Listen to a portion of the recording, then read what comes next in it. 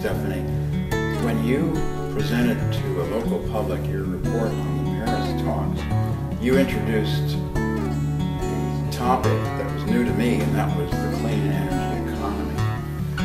And to that end, I, when I talk to an audience, whether it's Audubon or, or even individuals, friends and family, relatives, I talk to them about how to promote alternative energy sources to enhance or to uh, drive the clean energy economy, I've, I've sort of found that this is the lowest hanging fruit because talking about um, oh greenhouse gases or the, pol- the, melting polar ice cap or the rising sea levels just uh, goes right over their heads. They, they don't want to accept that.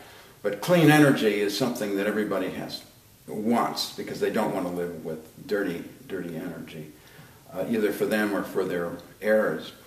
So I would be interested in, in some of your uh, your perspective on how to promote the clean energy economy, alternative energy sources. Uh, could you share that, please? If, um, one way we like to do it at EcoWatch is to just share the success stories. Mm. So there are so many success stories with renewable energy all over the world. It's just incredible. Um, so that that's one one great way. Um, and then there's really amazing statistics that have come out over the last many years that show that um, the cost for renewable energy, especially solar panels, has dramatically decreased. The amount of installed capacity per quarter and even of last year, renewables are winning out. Um, the fact that we know that we have to leave fossil fuels, the majority of the remaining fossil fuels in the ground, um, just, you know, there's just no other choice. So, a clean energy future, a clean energy economy, um, a world that relies on renewable energy is our future. Um, other ways I love to talk about innovation. I love to talk about Elon Musk and Solar City. The, um, he's on, I think he's the president of the board of Solar City, and then of course he's the founder and CEO of Tesla Motors. And the power Powerwall battery, um, battery storage. Actually, I love content on battery storage that does really well on EcoWatch. I'm like, wow, people really get it. You know um, and try and steer clear or at least set the record straight on myths about renewable energy. Um, yes, if the sun's not shining, the panels aren't generating power, but we can store that power. You know, we have a, a grid, our grid needs to be revamped, but there's, you know, a lot of new innovative ways to store energy today. Um, you know, just the positive message that we are a world that can um, be powered by renewable energy, I think is a really great direction to go.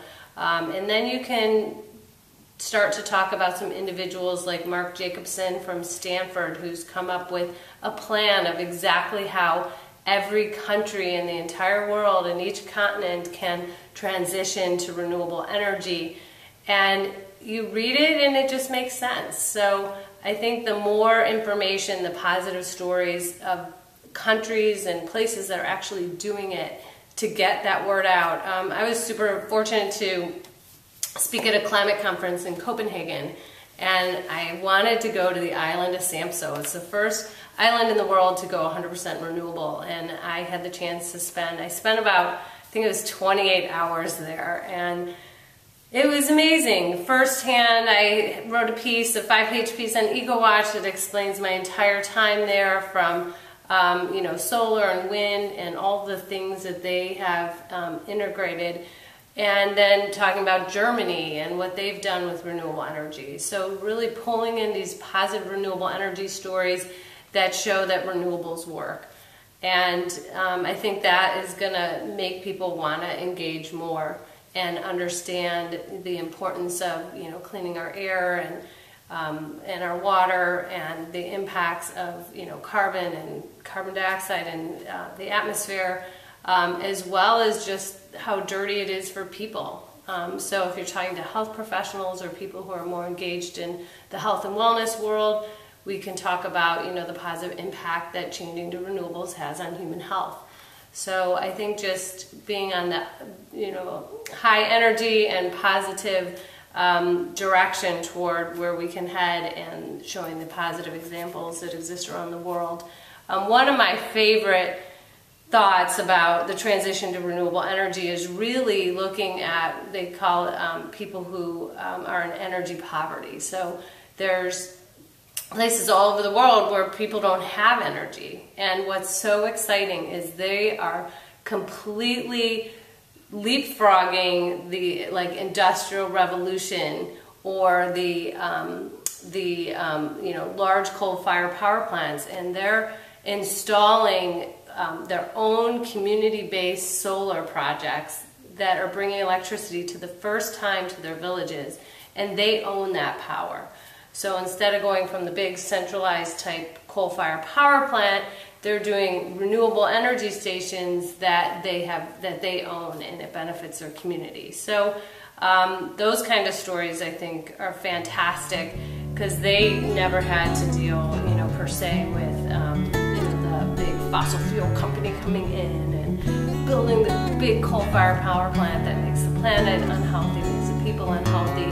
They don't then have control of that energy that they can't even afford. Um, and Greenpeace has been a leader in that as well as so many other organizations and companies um, to bring this, this renewable clean energy to these communities for the first time. Sim, thanks very, very much. Um, this